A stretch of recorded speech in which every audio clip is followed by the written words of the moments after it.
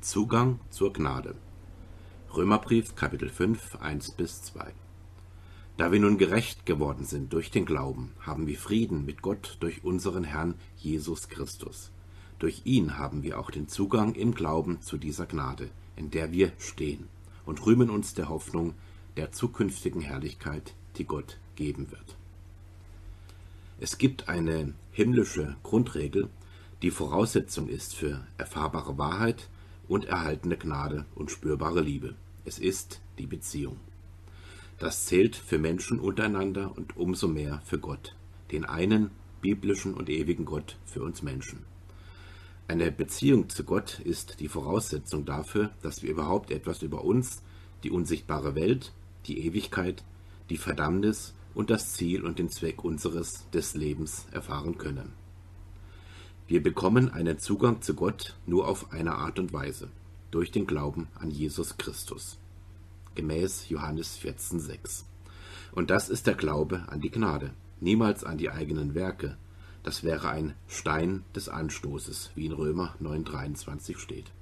Und keinesfalls der Fels des Heils, wie in Psalm 18,3 steht. Wer nun meint, ein allgemeingültiger Glaube außerhalb der Gnade in Jesus würde genügen, der ist einfach hochmütig, selbstgerecht, anmaßend und auch blind.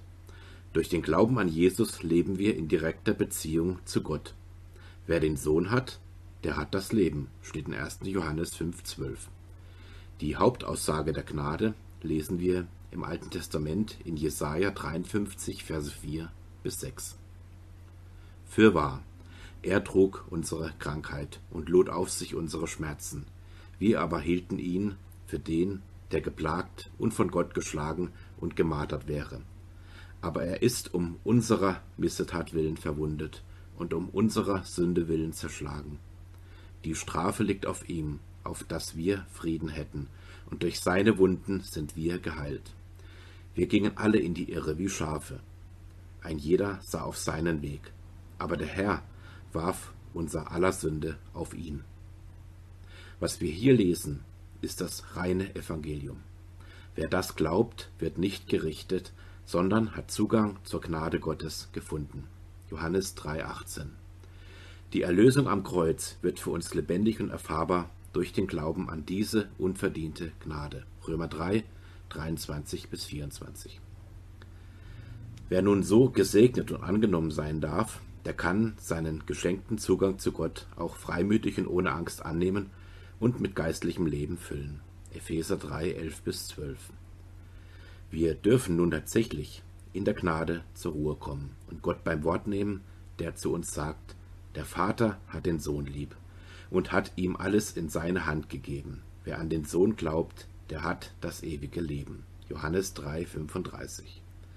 Mehr Zugang ist auf Erden nicht möglich, denn die Tür zum ewigen Leben und zur Seligkeit ist der Sohn Gottes. Gott selbst, der ein Mensch wurde. Johannes 10,9.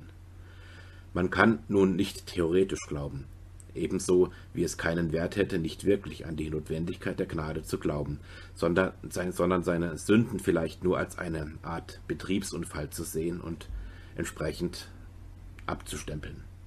Aber eine echte Beziehung ist niemals theoretisch, sondern man ist auch dann in lebendiger, liebevoller und praktischer Gemeinschaft zusammen, wenn man sich nicht sieht und nicht spürt.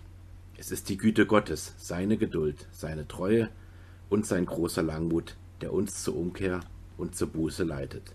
Das sollten wir keinesfalls vergessen, gering achten oder sogar ablehnen. Römer 2,4.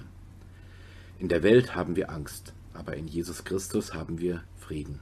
Johannes 16,33. Darum dürfen wir uns auf den Himmel freuen und auf die zukünftige Herrlichkeit.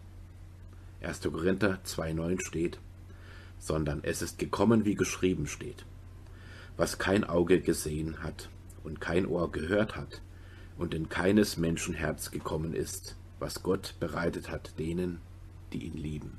Amen.